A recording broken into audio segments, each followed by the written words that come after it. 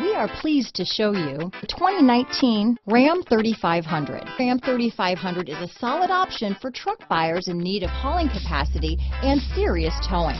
With names like Hemi and Cummins under the hood, there's plenty of muscle to back it up.